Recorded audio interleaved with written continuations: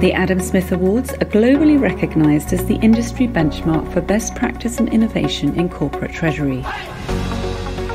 Throughout this dedicated series, we take a deep dive into each of the winning solutions of 2021 in conversation with the creators themselves. Hello, I'm Sophie Jackson, Joint Publisher and Head of Strategic Content at the Treasury Today Group. In this episode, we'll be taking a look at the winner and the two highly commended winners of the Best Foreign Exchange Solution category. This category looks at foreign exchange and solutions corporates are deploying to tackle the continuing challenges of currency volatility. From technology to new processes, change to a hedging strategy, or a new FX requirement as a result of entering a new market or dealing with a new currency and or clients or supplier could drive the solutions here. And the overall winner of the Best Foreign Exchange Solution category is Lynda Heywood, Group Treasurer at Tesco. Well done.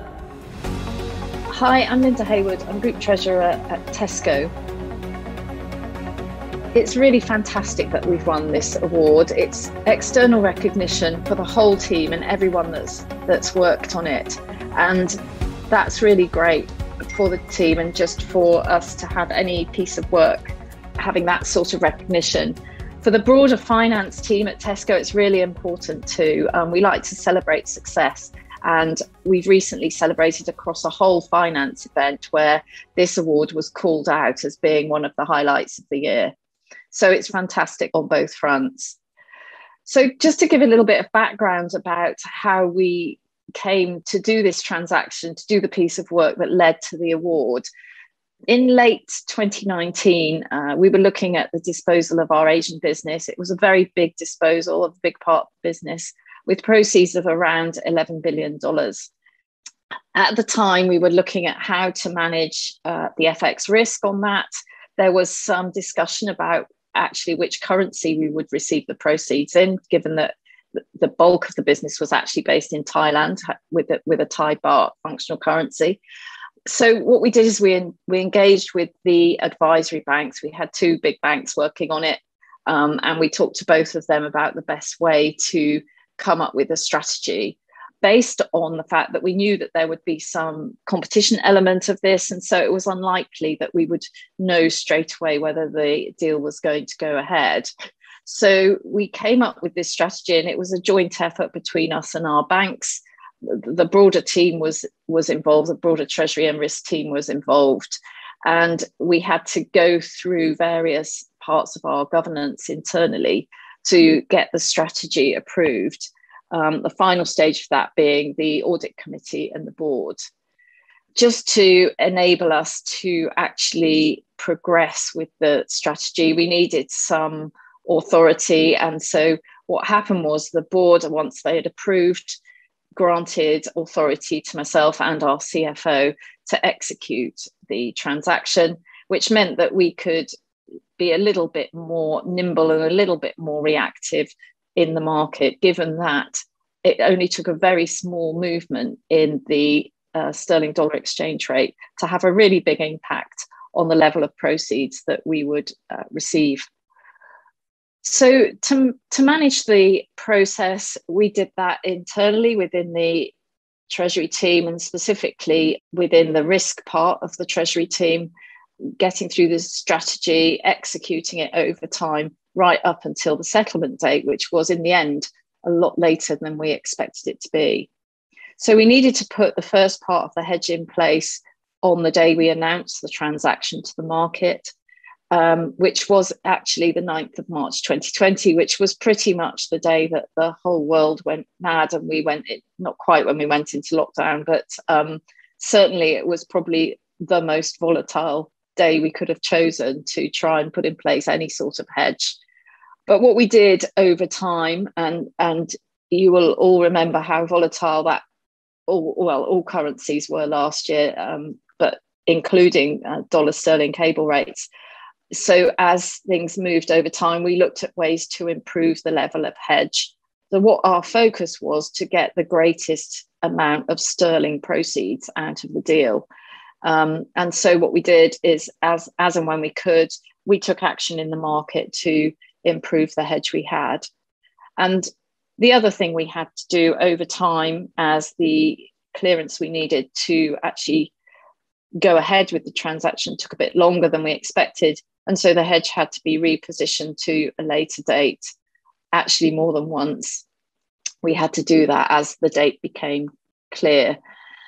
And I guess the final thing that is that is pertinent to this is that not only did the dates change, but at, over time, the level of certainty we had over whether the deal was actually going to happen changed as the market and the uh, market approvals came through. And so we changed from a sort of contingent hedging strategy then to a more fixed, firm um, strategy towards the end of the period. I guess looking back, it was a, a protracted hedge. So we started it, as I said, on the on the 9th of March. Um, we finally settled the deal on the 18th of December. So throughout that period, we had to have our finger on this hedge and we're actively managing it rather than just putting it in place and letting it roll.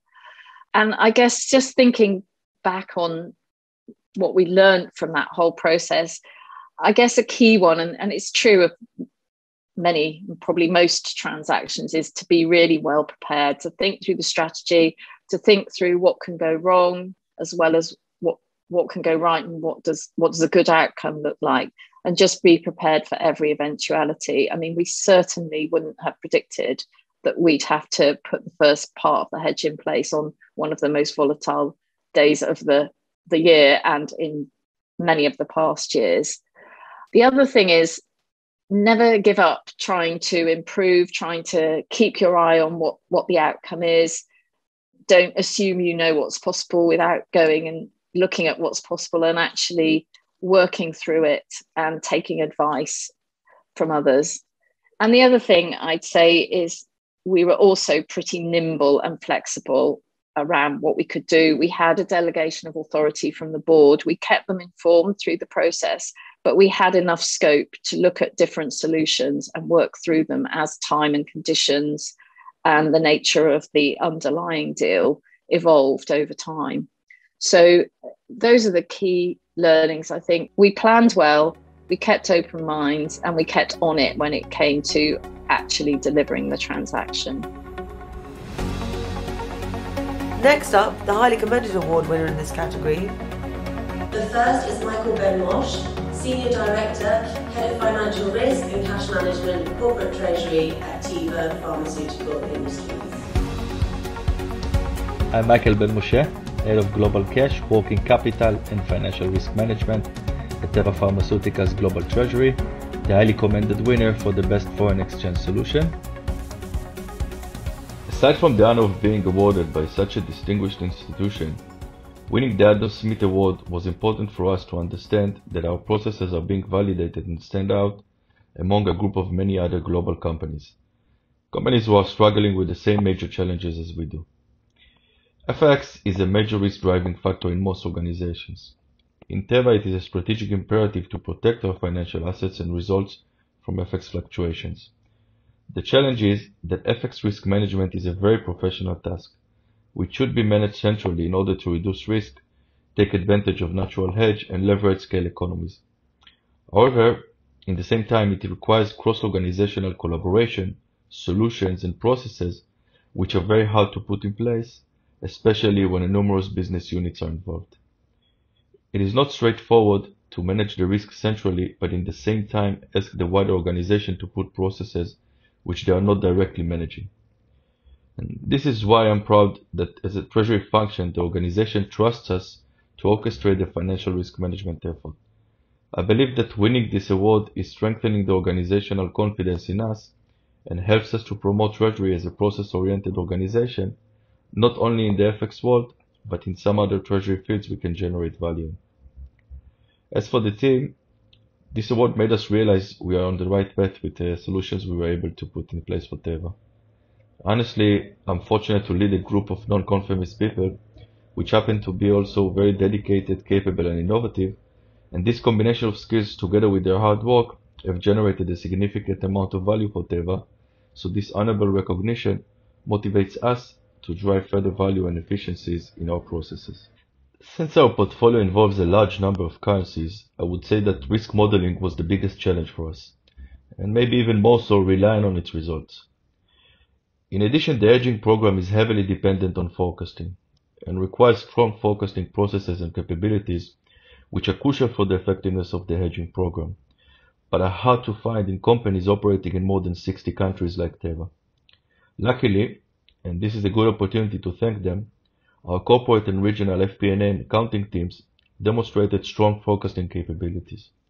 They made it easier for us to rely on our exposure forecast and hedge it. As an anecdote, I always say you can be the greatest trader or risk analyst, but none of this matters when you drive a serious damage relying on false data. Second, once we understood that our forecast is solid, we engaged with quant and risk modeling teams within our banking group. They used advanced statistical tools and models to quantify the risk and suggest a surgical hedging program, which we call in our professional jargon the efficient frontier model. This sophisticated model measures correlations between our more than 50 currencies, isolates the natural hedge component within our portfolio, and identifies the currencies we are truly exposed to. These currencies are not necessarily the currencies with the biggest exposure, which intuitively you would hedge first. Then it suggests the right hedging ratios per currency based on the risk appetite and the hedging cost we were comfortable with, which we later on transacted in the market using a combination of many hedging instruments. Retrospectively, going into the most volatile year over the last decade, it was a huge success. Our hedging portfolio was effective all along, also under the rapidly changing market conditions in 2020 enabling the company to focus on its business performance rather than FX headwinds. To demonstrate the effectiveness and our ability to pinpoint our hedging to the right risk generators, by hedging only 10 currencies out of the 50 that we are exposed to, with up to 60% of hedge ratio per currency, we were able to offset as much as 90% of the risk on our entire portfolio, and for me, this was a great achievement. The biggest learning point for us was realizing the importance of shaping the DNA of the treasury function to possess the right skill set that will better position treasury towards meeting its goals and mission. The modern treasury function is transforming from being in the past a transactional organization in nature, it is now required to be a strategic partner and sometimes lead cross-organizational processes. This means that treasury should have the right balance in terms of talent and culture to allow it to take responsibility and navigate through unknown territory sometimes and create a better financial environment for the company, not only with FX but also elsewhere. As a steward of financial resources and services, sometimes the processes that affect the ability of Treasury to deliver on its mission are not necessarily contained in the Treasury domain. This is why Treasury function should be versatile. A good Treasury function should have strong data analytic capabilities, which will allow it to identify broken processes, inefficiencies, or just changes in the external or internal environment, but in the same time make sure that it has the right talent which can drive changes, build trust, and steer major cross-organizational processes. If we use hedging, for example, forming a new large-scale FX hedging strategy is extremely difficult, especially for companies working in a multi-geographic environment. To make its hedging processes effective, Treasury should first work internally on building strong processes, organizational discipline, and design the right systems, and only then understand the potential solutions out there and how they can fit to the company's needs. Teva's risk management team was at that place when our exposure to FX increased in the last few years and became more strategic to the company. First, we had to realize that, and it is not as easy as it sounds, and then, by taking the lead and demonstrating a series of strong professional capabilities, both in terms of FX market understanding as well as understanding our own business, we were able to put in place and maintain an impressive FX ecosystem for Teva. And now it's time for a word from their partner. I am Claire Clark, the Senior Sales Manager for Financial Messaging Marketplaces at Finastra. Teva reached out to Finastra when they were looking to build out their FX ecosystem and hedging strategy, as we have over 20 years' experience supporting clients who want to reduce their risk window by automating their confirmations processing. As Teva is a Swift member, they were able to utilize our Swift copy Fusion confirmation matching service, which meant they didn't need to make any changes to their Swift message formats or their message processing. we were able to rapidly deploy our solution, allowing them to go live within just weeks. Teva were focused on organising their processes and procedures to support their hedging programme. And this increased their need to automate trade confirmations between SWIFT members in real time and to remove operational risk, increase automation, and help lead them to efficiencies for their treasury and operations departments. Fusion Confirmation Matching Service helps Teva to enhance straight through processing, which in turn removes the need for manual intervention and therefore significantly reduces errors. Their deals are matched, archived, and can be red flagged within minutes of the deals being done. Therefore, deals in error can be corrected before any payment instructions are sent, eliminating the risk of a deal going wrong. During this unprecedented year of the pandemic, our software as a service solution has allowed Teva to continue to use Fusion confirmation matching service uninterrupted, whether they've needed to work at home or been able to make it into the office. Finastra offers their congratulations to Michael and the team at Teva for being recognised as the highly commended winner of the Best Foreign Exchange Solution, and huge congrats to them for being the first Israeli company to win this distinguished prize. A huge congratulations to all our Adam Smith Awards 2021 winners. Thank you for listening to this episode of our dedicated Adam Smith Awards podcast series brought to you by the Treasury Today Group. More episodes will be coming soon featuring other award winning solutions, so please subscribe to our channel so you can stay updated wherever you get your podcasts.